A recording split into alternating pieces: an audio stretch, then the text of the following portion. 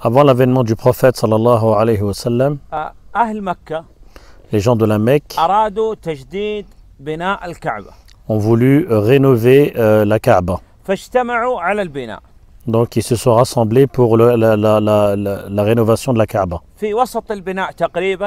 Et euh, lorsqu'ils sont arrivés à la moitié de la rénovation, ils se sont disputés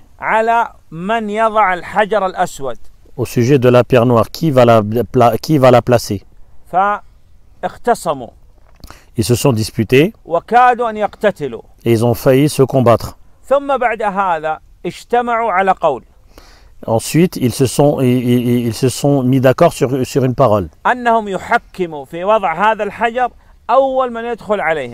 Ils, ils se sont mis d'accord sur le fait que la première personne qui allait qui, allait entrer, euh, euh, qui allait venir vers eux, eh bien, elle allait euh, juger pour savoir qui va mettre la pierre.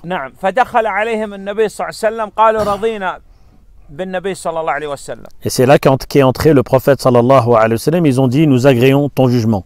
Le prophète sallallahu alayhi wa sallam, nous l'agréons. النبي صلى الله عليه وسلم بسط رداءه Le prophète sallallahu alayhi wa sallam a mis son, son, son, son, non, son الرداء rida, اللي يوضع فوق son étoffe de, de- du قطعة من dessus. الإحرام اللي توضع فوق Voilà, c'est le- le- le- l'étoffe, l'étoffe du dessus. Et il il l'a mis par terre. نعم وأمر كل قبيلة أن تأخذ بطرف Et il a, il a ordonné à chaque, chaque, chaque, euh, chaque, euh, chaque personne de- de- d'une tribu différente euh, de, de- de prendre le bout de, de- de cette étoffe. حتى Et donc à l'intérieur de cette étoffe, il y avait la pierre noire. Ils l'ont tous ensemble euh, apportée à, côté de, de, de la Kaaba. Et le prophète sallallahu alayhi wa sallam, une fois à côté de la Kaaba, il a pris la pierre noire et il l'a mis à son emplacement.